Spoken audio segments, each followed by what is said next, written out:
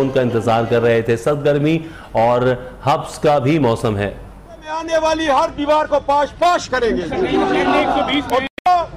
ایک منٹ۔ دوستو، آج آپ پہ فرض ہو گیا قائد اعظم کے پاکستان، اس نظام، اس کے دفاع۔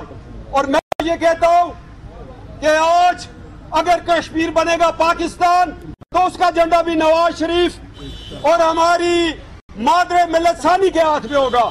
جس طرح ہماری مادر ملت ثانی نے چاگی کے پہاڑ پر اٹھائیس مئی کو جھنڈا لگایا تھا اور لوگوں کو ایک پیغام دیا تھا، یہ نہ سمجھنا کہ نواز شریف پابند سلاسل ہے۔ ہم نکلے ہوئے ہیں اس پاکستان کو بچانے کے لیے۔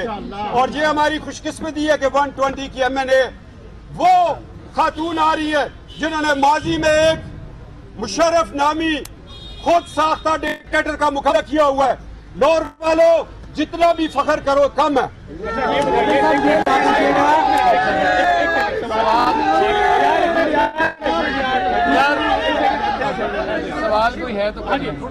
آپ ملاحظہ کر رہے تھے گفتگو آپ کو بتاتے چلیں، اہم خبر سے آگاہ کریں میاں نواز شریف کی اہلیہ کلثوم نواز کے حلقہ این ایک سو بیس سے کاغذات نامزدگی الیکشن کمیشن میں جمع کرا دیے گئے ہیں۔ ڈاکٹر یاسمین راشد کا مقابلہ اب ہوگا کلثوم نواز صاحبہ سے۔ اس وقت آپ گفتگو بھی جو سن رہے تھے، کاغذات نامزدگی جمع کے بعد آصف کرمانی اور کیپٹن صفدر کی۔